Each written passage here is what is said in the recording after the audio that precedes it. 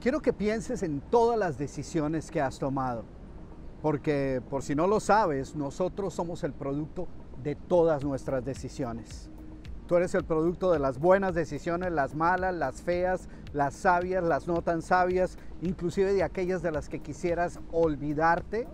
Todas ellas han moldeado la persona en la cual te has convertido. A eso es a lo que me refiero cuando yo hablo de que todos nosotros somos arquitectos de nuestro propio destino. ¿Cómo somos arquitectos de nuestro destino? Con las decisiones que tomamos. Así que hoy quiero invitarte a que cada vez que tomes una decisión, entiendas que esa decisión puede cambiar tu vida. No la tomes tan a la ligera. Piensa en las consecuencias, piensa en todo lo que va a ocasionar en tu vida antes de tomar cualquier decisión. Comparte esto con otras personas que creas que lo necesitan.